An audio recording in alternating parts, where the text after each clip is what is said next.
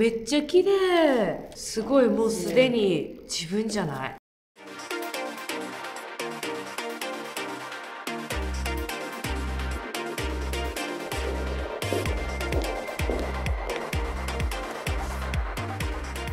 メイクアップ YouTuber のマリリンです。っかりとした肩パッドがかっちり入ってるようなジャケットであったりとか自分の気分に合わせてテーマを変えていろんなファッションを楽しんでるので今日は生きてる女 っていう感じで言ってます、まあ、このジャケットあれなんですよ。祖母のあのジャケットでお下がりでずっと着ている大切なジャケットなんです。メイクってカバーしたりとか隠したりっていうところもあると思うんですけど自分の良さを生かすのもメイクだなと思ってるので最近は結構前までコンプレックスだったそばかすとかもこう薄く見せて自分のそばかすもファッションの一つとして生かすようにしています。もともとすっごい自分のその容姿に対してめちゃくちゃコンプレックスがあって、まあ、分かりやすく言うと鎧を覆いたいみたいな気持ちがあったところからメイクをするようになりました。メイクを教えてくれる YouTube とかその当時ってなかったので雑誌を見てそれで勉強してました。あとはもう好きなモデルさん海外のモデルさんとかを見ながらこう画像をアップにして一人でこうずっと黙々とメイクに取り組んでましたね。マリリン・モンロー本当に好きなんですよ。彼女自身もやっぱり自分にコンプレックスがある中で自分の魅力を引き出してた人。で私自身もやっぱり体型にすごく悩んでたんですけどマリリン・モンローってどんな体型でも魅力に変えていく人というかなんかそういうところに心打たれてマリリン・モンローみたいになりたいなっていうところから私自身が出来上がっていったっていうのもありますね。ファンの方いるからっていうのはすごく大きいです。発信することでただそれだけで誰かの人生を救えたりすごく辛かったけどマリリンさんの動画を見て自分に自信が持てるようになったとかそういったことを聞くと映像を作って出してるだけなのにこんなにもたくさんの人のことを救えるんだって思うとやっぱすごく嬉しくてそれが自分の活力になるなっていうふうに思ってます。だから続けられるんだなっていうのがあって。初めてです。いつも自分でメイクしててそれでこう変化はしてるんですけど自分じゃない方にメイクをしてもらって大変身するってちょっと全然想像がつかなくってめちゃくちゃ楽しみです。お願いします。こう見た通りも超太陽のように明るい人だなと思ったらちゃんと赤着てきてるから やっぱり太陽っぽい人なんだなと思って。やっぱりそうですかうん、そうなんか現場が明るくなる。おはようございますっていうだけで。ね嬉しいです。素晴らありがとうございお願ますいします。普段の様子を あのこっそり調べさせてもらっていて、なんか私なりにね今回はヌーディーカラーで行ってみようかななんて思ってるの。すごい私あのさっきそこで見てたんですけど、えこういう服着たことない。なんかねちょっと淡いトーンとかでエレガントな、うん。少しこう大人の女性というか、になってより美しさが際立つんじゃないかしら。いやー。って思ったりしてちょっとあの何を着るかっていうのをメイクがね上がり次第また、ガラッと変わっちゃう可能性があるんですけど、まあとりあえずなんかこういう色ってあんまり着たことないないでしょ？まず持ってないです。でと思ったんだけどすごい可愛い。とにかくお顔が明るいからこういう色絶対合うのよ。もう似合ってる。もう似合ってるでしょ？もう私もそう思う。絶対似合うちょっとピンクがかってるものが多分すごく似合うと思うすのごい、だからでもし黒とかにするとでもね例えばこのぐらいのグレンチェックみたいな形のものとか素で敵。そうでこんな淡い色って本当にねないですないでしょ？私。絶対これ似合うだろうなと思って後で着て、えーすごい。楽しみにしてやってるんだけどこういうかわいい。なんかあら2023年ラッキーカラーシャーベットオレンジサーモンピークみたいな、はい。そういうのも絶対似合うかなと思っていますよ。めちゃくちゃ素敵。そうなんです。でパンツの形もいろいろあって多分こういう形が好きなのかなと思いきや、このすごいワイドに似合いそうじゃない？ね。靴もヒールが多い。そうですね。ヒールが多くって、うなんかやっぱり、うん。ついついこう身長が高く見えるわかる。そうだよね。そうだよね。でそそうなんだけど今回はちょっとなんかどこに抜け感を作ろうかなっていうことでなんかスニーカーとかも用意しているのでちょっとこういうのも合わせてみながら。なんか、はいオールピンクとかも超可愛い可愛い。と思うんだよね。ピンククですけど、うんトーンが全然違ってて、ねえねえねえまあ、ちょっと今日は楽しみにあっちこっち来てみましょうはい、お願いします。はい楽しみです。お願いします。ヘアメイクの菊池美香子です。よろしくお願いしくお願いします。えっと今日のはいイメージなんですけど、はいあの私マリリンさんを YouTube で見た時にやっぱりあのそばかすがすごい印象的だなって思ったんですよ。でそばかすといえばこのファッション業界ではケイト・モスっていう。はい。これでハーパースバザーうのあの結構前のですけど、はい。ケイト・モスの表紙だったりとか。これは私がやってたビジュアルなんですけど、うんうん。シェルボークの。えー。これはちょっとスパイスパイがテーマで。そうそうスパイがテーマで作ったメイキャップなんだけど、なんかこうちょっと抜け感があるけどちょっと強いみたいな。うんでマリリンさん自体がやっぱりこうエネルギッシュだし、あとこう強い女性像が、あの私の中ではあるのでだからその辺を出していけるかなと思ってます。はい。ナノケアのはい。スチーマーで当てながら化粧水をちょっとつけていきますね、はい。で化粧水をちょっとこう温めるんですね。温めてから顔全体に塗っていきますオイルですはい。はいオイルをまずは気持ちいい。そうなんですこれはねツバメの巣入りオイルでうすん。乳液をつけていきますねで今日はちょっとあの肌ツヤツヤにしたいからこのね乳液をつけた後にクリームまでいっちゃいます本当にねこういう風にやられることってあんまりないんじゃないですか？いや、ないです。もうですよねなさすぎて。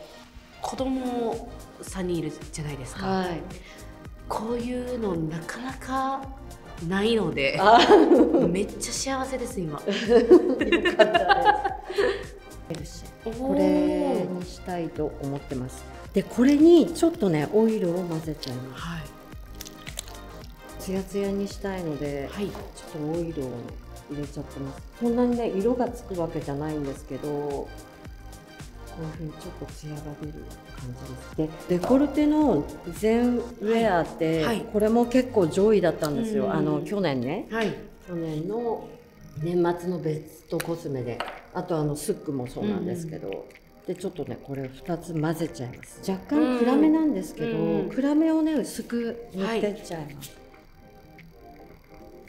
まぶたの上とかも薄くですけどちょっとカバーし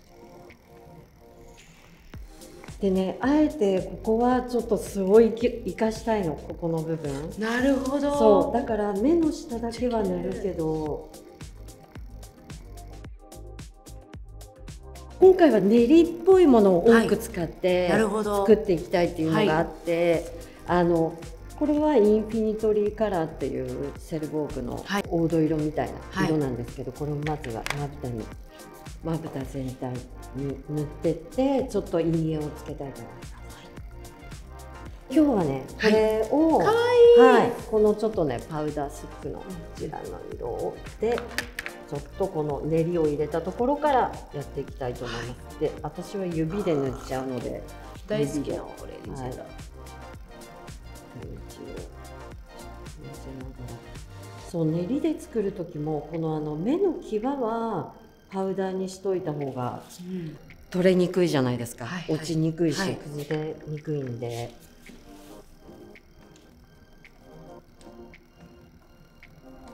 でこれ今はあの茶色っぽい、えー、とペンシルライナーですね。ちょっとゴールド茶みたいな色のペンシルライナーで囲んでます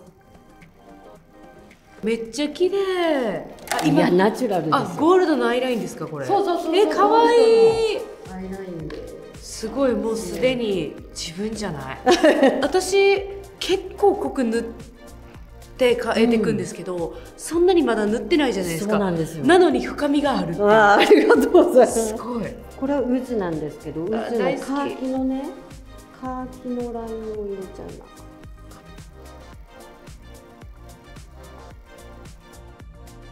すでこの粘膜にさっきのちょっとあのマリリンさんのメイク落としてる時にきちっとインラインに描いてると思って。いやすっごい綺麗に描いてて。すごい見られてた。いやいやいやいやいやそうそうちょっと下にねグレーをちょっと入れてみましたアイシャドウの横にあるこのグリーンねはいグリーンをはいちょっと下に重ねちゃいます、めっ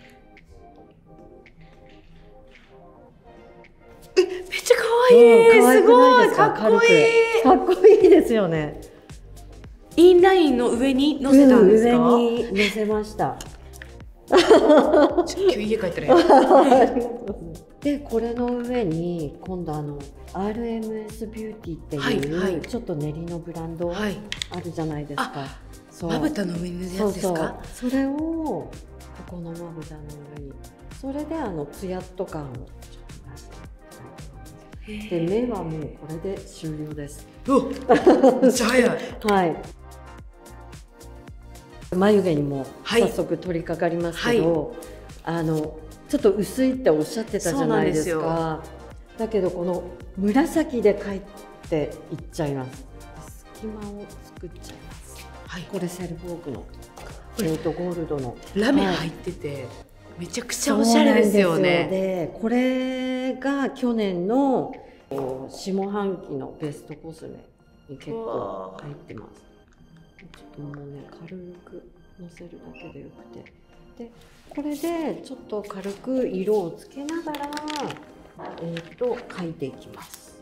また上にサンドする形あでね今はねこれライナーなんだけど眉に使っちゃってます。おあでもほらマリリンさんよくやるじゃないですか。やってます。ですよね。いろんなものを実はこう使うけど実は私はこう使うよみたいな。そうなんですよ、ねでもそれ楽しくないですか？楽しいんですよ。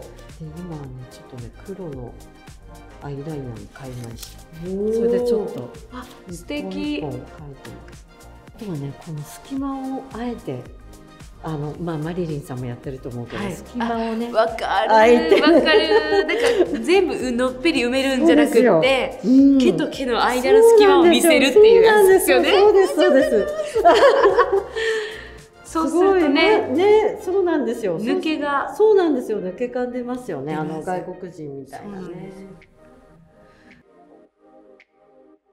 チークとかはちょっと髪のバランスとか見てえっ、とつけちゃう感じなんです。はい。で髪はねちょっとあのこうケイトモースニュアンスみたいなちょっとこうゆるいウェーブをちょっとかけていきたいんで一回ちょっと濡らしちゃいます。艶出しのスプレーをしてから巻いていきます。もうこれでバーって振っちゃってアイロンで巻いていくんですけどこれもこう巻かないんですよこういうふうにね押さえないではい。実はこのままなんですこれ。あそうなんや。でゆるーく。ゆるーく巻いていくのこれで。ちょっと無造作な感じ。そうなんですよ。へえすこごい。れここでこう余熱でへえす。ごい。これほらシェーディングだけどちょっとチーなるほど。ク風にこれはねジル・スチュワートのこういう色が出てる。へえかちょっとねわい練い。りほんまや。そうそうそう。かわいい。これもちょっと上から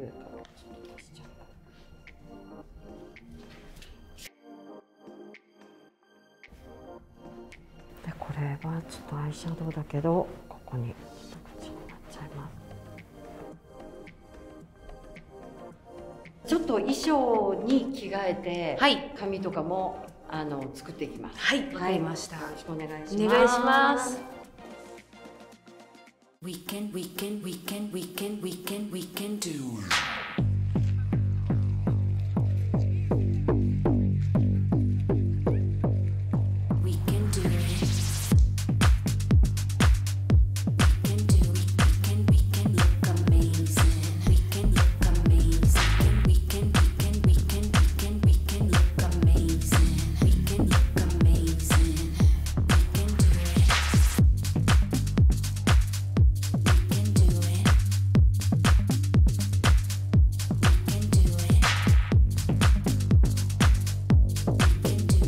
りがとうございました。ありがとうございましたかっこよす。ぎもうめっちゃ変わっったよねめっめっちゃこうレスレスだけど綺麗。本当に、元が綺麗だからね。いやすごい。本当にすごいです。しかもあのアイメイクさっきもお話ししてたけど、あのこれマスカラ塗ってなくてそうこだけね。のバチバチって。ねかっこいいです。スリーピースってなかなかないやないです。何スリーピースって見てスリーピースやん。実はここにスカート履いてるからスリーピースなんですねスリーピースは。ちょっとちらっと見えてる。さりげなくね。